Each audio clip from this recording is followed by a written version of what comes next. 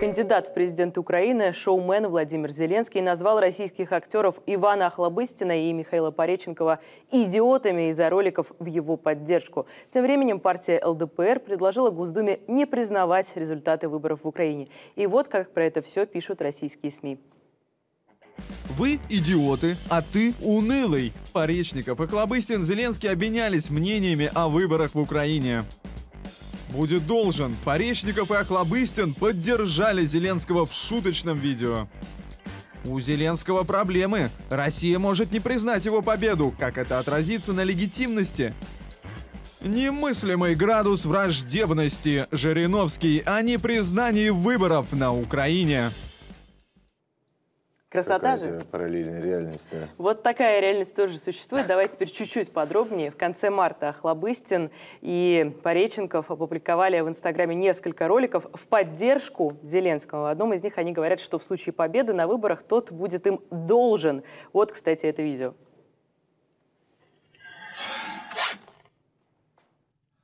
Но если он выиграет, он будет нам должен. Слава Украине! Крым наш. Все наше.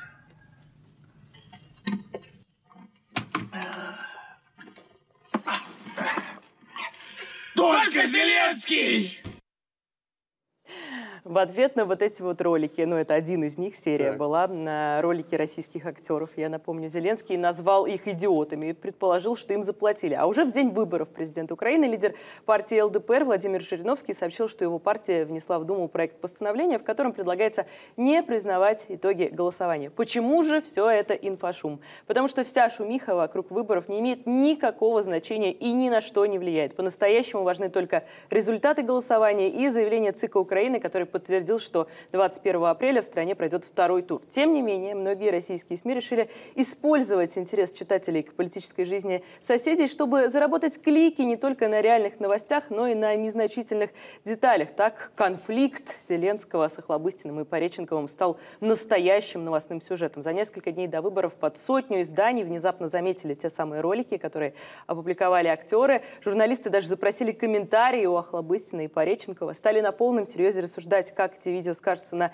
итоговом э, рейтинге, результате Зеленского. При этом сами актеры признались вообще-то, что они прикалывались. Ролик Хлобыстина и Пореченкова – это очевидный троллинг, который достиг цели. Издания несколько дней обсуждали подробности конфликта, которые сами и придумали. Ведь фамилии известных актеров в заголовках всегда притягивают внимание. К тому же в привязке к такой актуальной политической теме, как выбор. Впрочем, нелепыми такими инфоповодами пользуются не только российские СМИ, а особенно вот если говорить про эти выборы. Украинские журналисты также написали про этот конфликт. И, кстати, были другие поводы. Например, журналисты рассказали о прогнозах на второй тур, которые дает астролог. Вот такая история.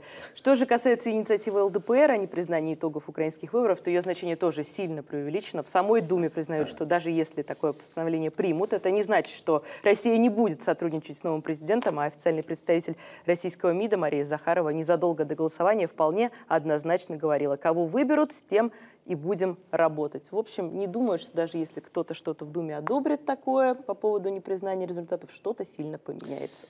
Да уж, спасибо, Даша. Дарья Пещикова с э, украинским инфошумом сегодня после да, президентских выборов в этой стране.